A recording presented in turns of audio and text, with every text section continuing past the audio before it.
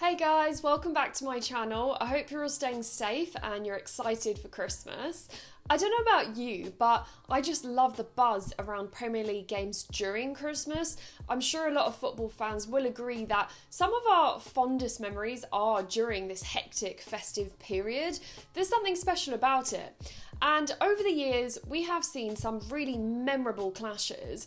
It's a bit different this year, of course. There are some Boxing Day postponements, and I kind of expect a few more to be announced in coming days. So, today I thought it would be fun to actually throw back and take a trip down memory lane to normal times and reminisce on the 10 most entertaining Premier League matches played during Christmas. As usual, this list is in no particular order. I hope you enjoy this nostalgic video, so let's get straight into it. I think many of you will agree that this 10 goal clash has to make it on the list. In December 2007, good old White Hart Lane Stadium was full of fans, and what a thrilling encounter they witnessed. Both Berbatov and Dave Kitson both gave us quite a show.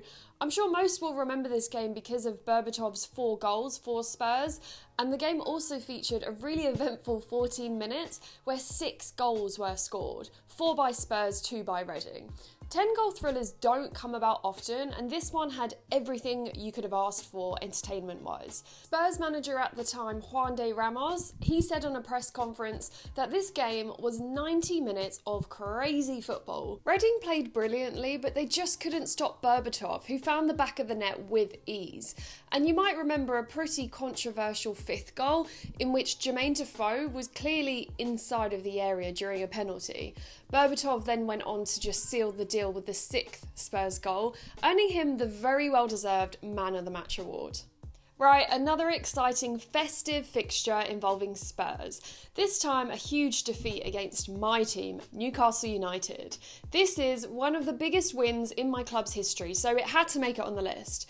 So, St James's Park witnessed an absolutely brilliant performance from our entertainers. Kevin Keegan on the sidelines, what I would give to watch us play a match like this now, honestly. So, what made this match a special one? It was quite simply an incredible display of attacking and defensive football produced from King Kev. The lads played in perfect harmony with superb composure in front of goal, conceding just one goal in the last minute of the game and scoring seven, courtesy of Les Ferdinand, Alan Shearer, and Rob Lee, who each scored a brace. And of course, special mention to Philippe Albert too. I guess you could say it came as a surprise to Newcastle fans that just a week after this huge win, Keegan resigned from his position, leaving behind a trophyless but enjoyable, memorable era on Tyneside. Sticking with the 90s, this result may surprise younger viewers. Yes, Coventry beat Manchester United and it was a roller coaster of a game. So Coventry took the lead early, but goals from Solskjaer and Sheringham saw Man United 2 1 up before the break. What looked like quite a comfortable win for the Red Devils was soon carnage in the space of two minutes. A penalty and one of the most amazing solo goals from Darren Huckerby gave Coventry the unexpected win. Okay, a bitter memory for me this game, but it happened during the festive period and it was indeed a thriller, so it has to make it on the list. Newcastle's defence was clearly still hungover from Christmas Day because we managed to let in seven. I think this 2013 squad was one of the best Arsenal have had since the Invincibles. Not to forget, they also won against Reading at the start of that 2012 season in a 5 7 thrilling game. Many of us will remember this Arsenal Newcastle game as one of the best of Theo Walcott's career. You know, he bagged a hat trick. But really, what makes this a memorable one for me is the insane amount of second half goals. Eight were scored, absolute goal fest, at us Magpies' expense. Now, this draw was something else. Eight goals, three red cards, a late goal from Gareth Barry tied the game and just rescued a valuable point for Villa. This was probably one of the most craziest Christmas draws in Premier League history. A classic Boxing Day encounter at Old Trafford.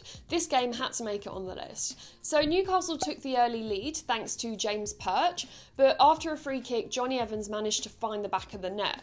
Unfortunately for Man United, in the space of just a few minutes, he then turned from hero to villain after scoring an own goal to make it 2 1 for Alan Pardew's side. A strike from Patrice Evra levelled the game, but then Cisse scored the third. Then, just when it looked like us Magpies were securing those three valuable points, Van Persie equalised and Chicharito scored the winner in the 90th minute. What a game! Will we see a repeat thriller like this on Monday?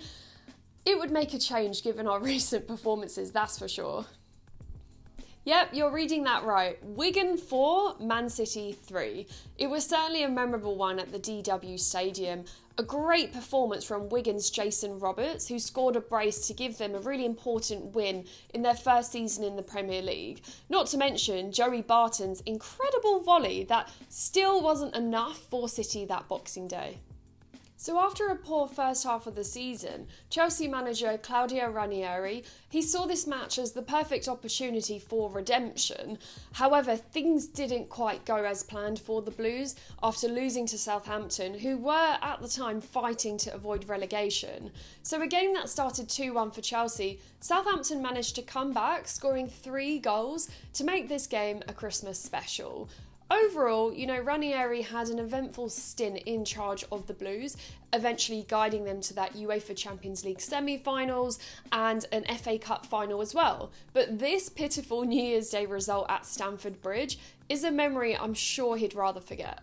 Next up, another surprising Chelsea defeat. So, when Roman Abramovich arrived at the bridge in the summer of 2003, times, of course, were very different. Since that takeover, the club has since won 18 major trophies, but it wasn't immediately all smooth sailing. Now, this Boxing Day shock loss in 2003, again under Ranieri, was at the hands of Charlton Athletic. They dominated the game, taking the lead just 45 seconds in, leaving Chelsea with very little room for a comeback. Now, this is technically not one game, but I couldn't finish the video without doing a major throwback to the greatest Boxing Day in English football history. In 1963, the explosive set of games produced a total of 66 goals. Yes, 66. There were some incredible results, like Fulham beating the then current champions Ipswich 10 1. Blackburn beat West Ham 8 2, establishing their top spot of the table. Liverpool thrashed Stoke 6 1. Spurs drew West Brom 4 all. Not your regular Premier League match day. One day I would love to see a repeat of Boxing Day madness like this. Well, there you have it the top 10 greatest Christmas matches in Premier League history, ranging from 2013 all the way back to 1963. 50 Christmases later, let's hope for more exciting encounters this year. That's providing they go ahead, of course. Thanks a lot for watching, guys. Do you think I've missed any out? Do comment below and do let me know. This video was brought to you by kitbag.com, so do check out all their festive sales on the link below.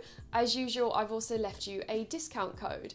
Subscribe to my channel for more football content. Have a lovely Christmas, and I'll see you in the next video.